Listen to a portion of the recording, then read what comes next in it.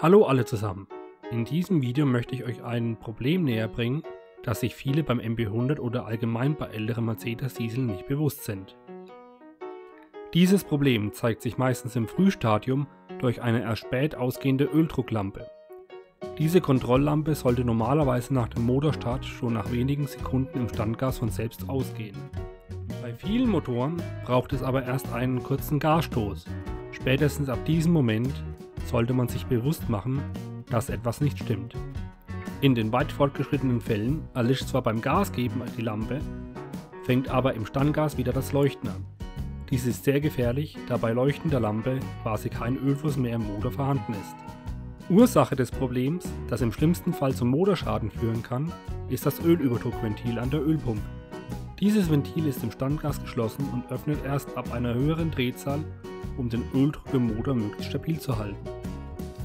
Um dies zu bewerkstelligen, besitzt das Ventil einen Kolben, der von einer Feder hochgedrückt wird.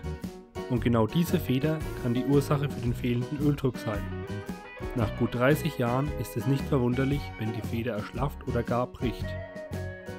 Eine weitere Ursache kann sein, dass der Kolben klemmt. Das Ventil sitzt noch vor dem Ölfilter, es kann also gröberer Dreck aus der Ölwanne ins Ventil gelangen und es verklemmen. Es empfiehlt sich auf jeden Fall immer den Tausch der Feder. Diese ist aktuell noch für sehr kleines Geld direkt bei Mercedes zu bekommen. Die Teilnummer findet ihr in der Beschreibung unten. Zum Tausch der Feder muss das Ventil aus dem Motor ausgebaut werden. Dazu muss die Ölwanne runter. Oft sieht man hier schon gut, ob das Ventil richtig schließt oder der Kolben festsitzt. Der Kolben wird von einem Sprengring im Gehäuse gehalten. Diesen herauszunehmen kann eine sehr fummelige Aktion sein. Außerdem besteht Gefahr, dass man das Innere des Ventils verkratzt. Ich habe mir daher eine simple Variante überlegt. Ich messe die genaue Einpresstiefe des Sprengringes heraus und bohre einen halben Millimeter unterhalb ein gut 2 mm großes Loch ins Gewinde. Dies geht sehr gut, da es sich um ein sehr weiches Material handelt.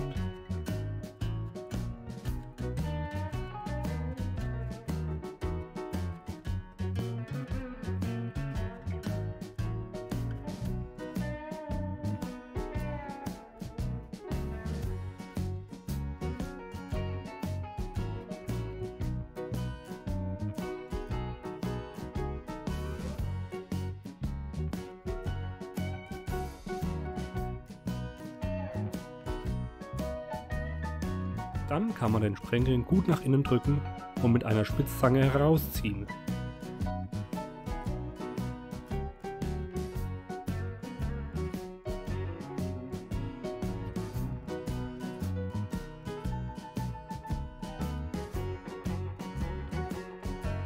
Falls der Kolben nicht von alleine rausfällt, kann man ihn von hinten mit etwas dünnen, zum Beispiel einen Imbusschlüssel, vorsichtig herausdrücken.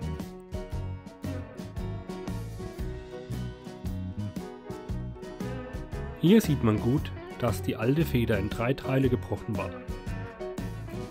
Meistens ist die Feder aber noch an einem Stück, aber im Vergleich zur neuen Feder merkt man oft, dass die alte ein paar Millimeter kürzer ist. Sie ist über die Jahre hinweg erschlafft.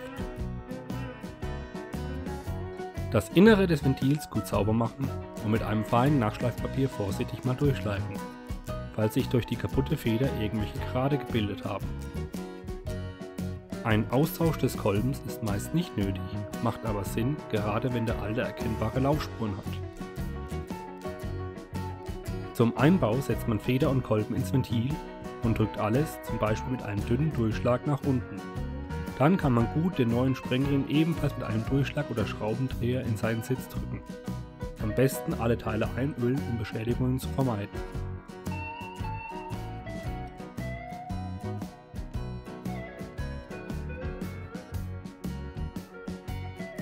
Der neue Kolben sollte nun locker im Gehäuse laufen und von der Feder immer wieder bis zum Sprengring zurückgedrückt werden können. Beim Einbau darauf achten, dass das Ventil wieder vollständig in die Ölpumpe eingeschraubt wird. Nun sollte die Öldrucklampe wieder direkt nach dem Motorstart im Standgas von selbst ausgehen.